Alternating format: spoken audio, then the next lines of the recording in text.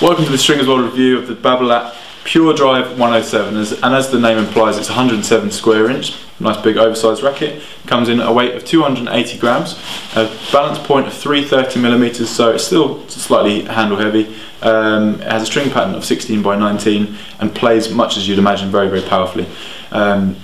it's quite a stiff racket as most of the Pure Drives are which means it's going to generate huge amounts of um, pace off of a, off of a smaller or, or even a long swing. Um, and from the baseline it's going to really help you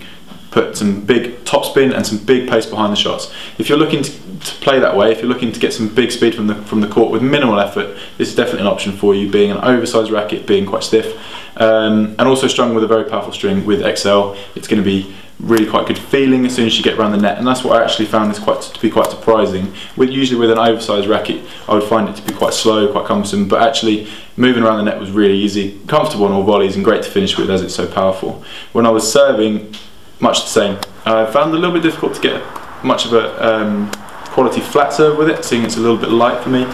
but definitely with the spins kick slice um, really a racket you can use to maneuver the ball around on both from the baseline the net and when you're serving